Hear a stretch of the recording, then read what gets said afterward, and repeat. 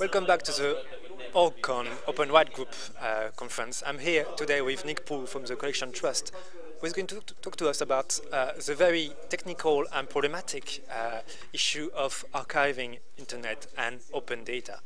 Nick, you just talked for an hour uh, with your colleague, uh, colleague uh, Ben White from British Library about how can we do this. how do you feel this problem is being accepted in society? Is it something you have to explain uh, what it's about? And then maybe you can tell us what this is about. I will do. Uh, maybe I'll start by saying what the problem is. Um, essentially, we've got a, an industry that was created in the Victorian era 100 150 years ago, and it's about bricks, and it's about places, and it's about objects, and it's about that really rich experience. And we, as a generation, have to translate that into the digital age. So we have this immense challenge. It's like the challenge of building roads or universities or railways. It's a huge infrastructural problem, and it's completely invisible to the public. As far as the public see, museums and libraries are there on the high street, they're being funded, they should be digital, they should be digitally available. And so there's this gap between the public expectation and the money, and the money's just not there.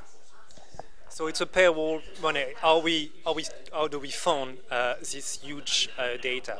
Uh, so what are the the few uh, paths, the few leads uh, available right now, or you think are going to be available soon?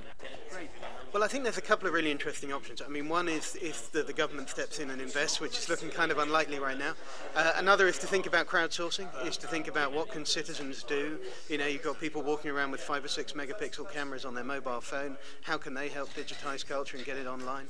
Uh, but also, increasingly, this is a problem that's getting interesting to large uh, technical organizations. People like Google, the BBC, uh, are getting into the picture and saying we can help uh, sort out the infrastructure.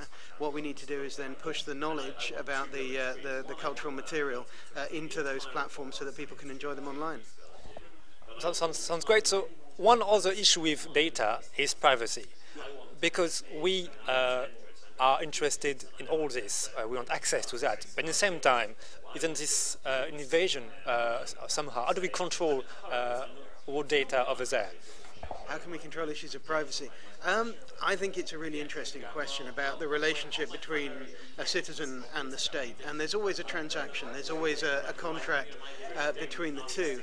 Right now, people are being asked to surrender a lot of their privacy uh, in return for public services like access to libraries, like access to archives, uh, and to museums. I think the, the question is where do we draw the line? Where do we create a balance that says you're going to have to tell us something about you so we can personalize services, build this digital world around you, but we don't want to invade your idea of us not using your information, not constructing services that do things that you don't expect to do. Trust is pretty much the most important thing to museums, libraries, and archives. That's what we're there for.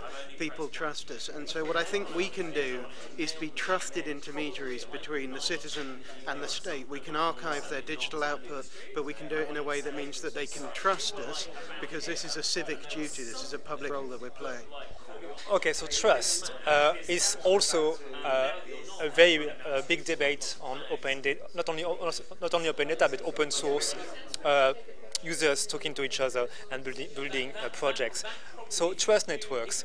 So people have to trust an institution like the British Library or the Collection Trust. Uh, but I would say that from the past experience, they are maybe, because maybe they don't know enough, or because they had bad experiences, they might be uh, a bit cautious, suspicious about this. So what kind of strategy, uh, what kind of uh, trust network we can create to go around that?